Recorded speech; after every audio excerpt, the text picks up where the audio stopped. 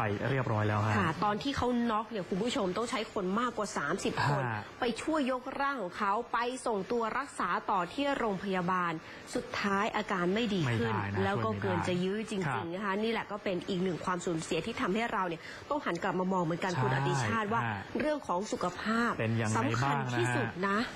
อ่านี่แหครัละบคุณผู้ชมครับเป็นภาพเหตุการณ์เมื่อวันที่ 15 มกราคมที่ผ่านมานะคะ ตอนที่ชาวบ้าน แล้วก็กู้ภัยกว่า 30 คนต้องไปช่วยกันย้าย คุณธงชัยแจ่มแจ้ง อายุ 26 ปีเท่านั้น ครับ ป่วยด้วยโรคอ้วนน้ำหนักมากกว่า 300 กิโลกรัม มีอาการเหนื่อย หายใจไม่ออกปวดท้องออกซิเจนในกระแสเลือดเนี่ยน้อยลง ก็ต้องรีบนำส่งโรงพยาบาลอย่างทุลักทุเลค่ะ นานกว่า 3 ชั่วโมง คือเขาพักอยู่ภายในบ้านพักริมน้ำแม่น้ำปราณที่จังหวัดประจวบคีรีขันธ์ส่งตัวไปรักษาที่โรงพยาบาลปราณบุรี แล้วก็ส่งต่อไปที่โรงพยาบาลหัวหิน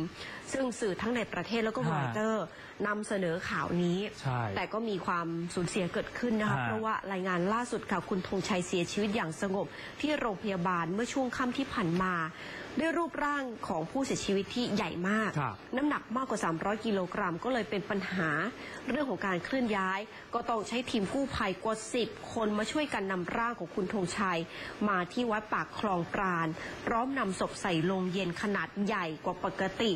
ซึ่งพี่สาวก็เปิดเผยนะคะว่าสาเหตุการเสียชีวิต คุณหมอแจ้งว่าเกิดจากภาวะไตวาย และภาวะหัวใจล้มเหลวครับค่ะ ก็เรียกว่าเห็นแล้วท่านผู้ชมครับ ต้องดูแลสุขภาพบางคนคิดว่าไม่เป็นไรไม่เท่าไหร่หรอก แต่